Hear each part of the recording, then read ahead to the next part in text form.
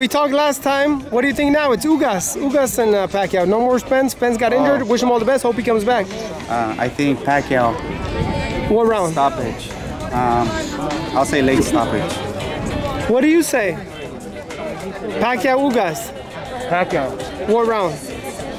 Eight. What do you say? what do you say? Pacquiao all the way. Why? Of course. Because Pacquiao's the best. He signed your glove. It's very nice of him. He just ran from his house here. I don't know if you guys know this.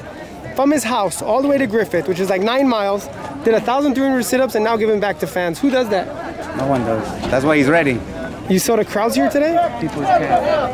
Super humble. And good seeing you too, brother. Always, man. Um, let's get out of the way. Um, what do you think about um, if Manny Pacquiao takes care of business? What do you want to see him do next? Fight Spence early next year, And what do you think happens in that fight? and then uh, retire. helmet?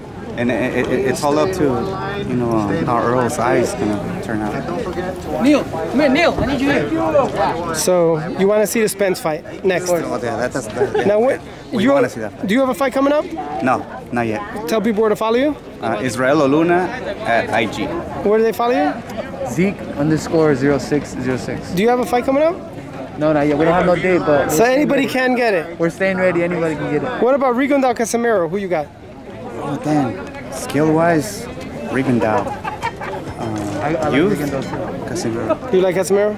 No, I, I like Rigondeaux. You like Casimero? You like Rigondeaux?